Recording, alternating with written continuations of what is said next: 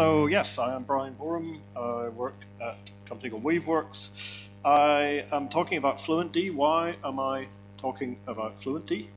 Um, so we, at work, we run this uh, SaaS system called Weave Cloud.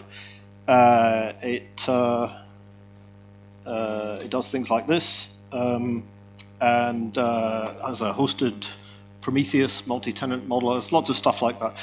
We run it all uh, within Kubernetes, and we um, don't like to run things ourselves if we can get away with it. So we, we chose a product called Loggly to view the logs, and they recommended we use FluentD. So um, so enter uh, idiot developer who has to try to configure the thing.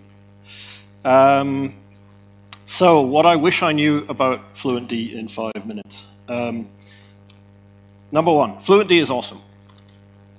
Uh, I did not think this at the beginning. This, this is me Googling for replacements. Um, and, you know, it's just, it's just sending logs. You know, it's like I could probably replace it in a small Go program in 30 minutes. No. Um, the thing is, when you, when you really get into it, you, you learn um, the, uh, the, thing is, the thing is really, really powerful. Um, it is very, very configurable. You can, you can set up all kinds of pipelines uh, to send different things different ways and parse things and so on. And there's a huge number of plugins. There's, there's a huge ecosystem. Uh, so whatever you want to do uh, in the way of like grabbing your logs and doing something with them, uh, there's probably a FluentD plugin uh, for that. So, um, so yeah, basically my lesson number one is I wasted like three days of my time trying to get rid of the thing. And, uh, and I should have just got with the program and, and um, learned a few more things about FluentD. Uh, what else did I have to learn? Um, yeah, versions. This, this was kind of complicated. Uh, they, they used to have a 0.12 and a 0.14, and most of the blog posts you read are about 0.12, and the newest one was 0.14, but it didn't seem to be the mainstream version, and who, you know, what are we supposed to be doing?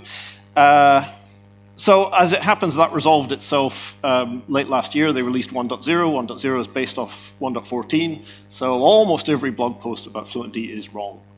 Um, but they'll catch up, you know, it's okay. It's moving forward, it's good stuff.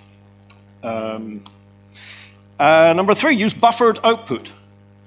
Uh, so this is what it says on the Loggly web page. This is a product we happen to choose. Um, and uh, they say do it this way. This is wrong. Do it this way.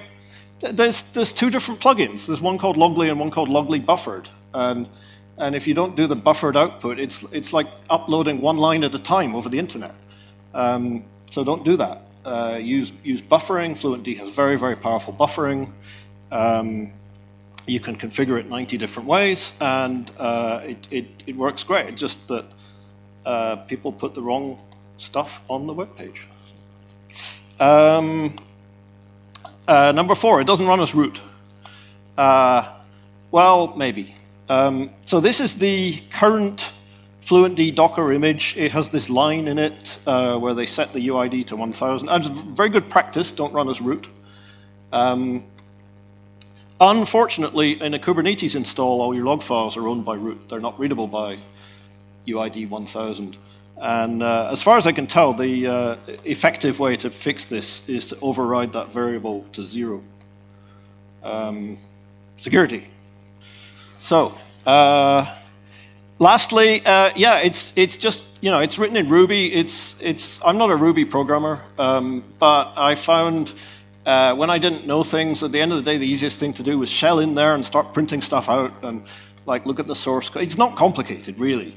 Um, it, it, it's very well laid out, very neat, and uh, so yeah, just uh, uh, just go look at it, just figure it out with the code.